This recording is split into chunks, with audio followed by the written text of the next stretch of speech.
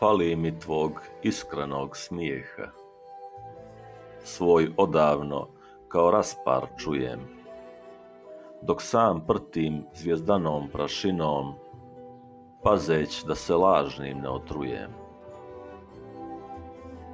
Fali mi i da ti pijem oči, da izvoru u izvor proniknem, tamo gdje sve boje i nastaju, iz sveg glasa ime da ti viknem.